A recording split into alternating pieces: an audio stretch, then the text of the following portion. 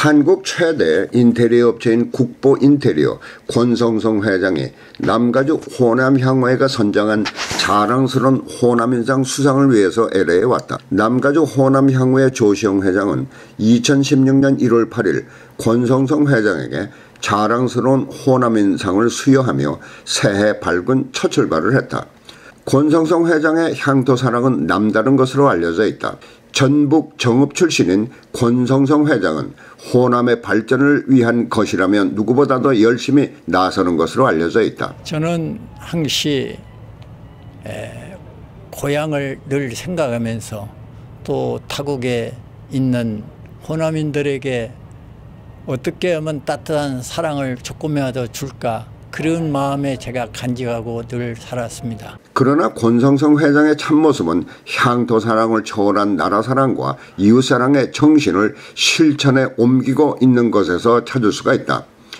이날 시상식에서 권성성 회장은 한국 사회에 병폐로 남아있는 지역 감정을 익은 미국에서부터 허물어보는 일에도 관심을 갖겠다고 강조했다. 저는 항시 한국에 있으면서도 정치적으로 에, 단합, 어, 동서화합 그것을 항시 주장하고 산 사람입니다. 그런데 우리 한국에 미국에 있는 타국에 와 있는 우리 동포들이 정말로 서로 사랑하고 서로 애끼고 하면서 사랑한 것을 늘 에, 기도할 때마다 제가 타국에 있는 우리 국민들 사랑해 달라고 하나님에게 늘 기도를 하고 있습니다.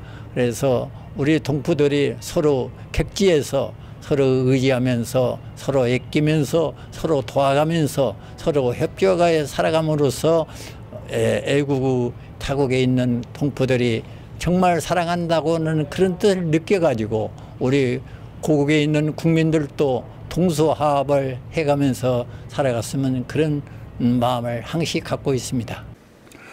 권성성 회장의 나라 사랑과 이웃 사랑의 정신은 그가 한국에서 실천하고 있는 데서 잘 나타나고 있다.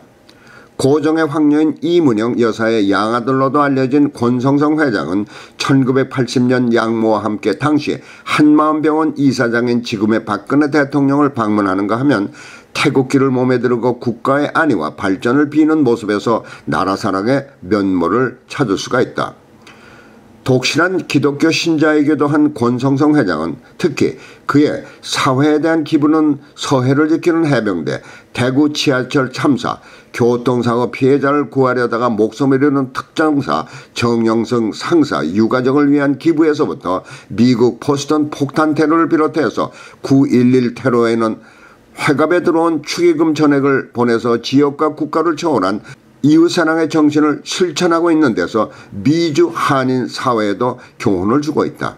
국가를 초월한 그의 이웃사랑은 이번 미국 방문 중 LA시가 명예 시민권을 수여하는 것으로 보답하고 있다.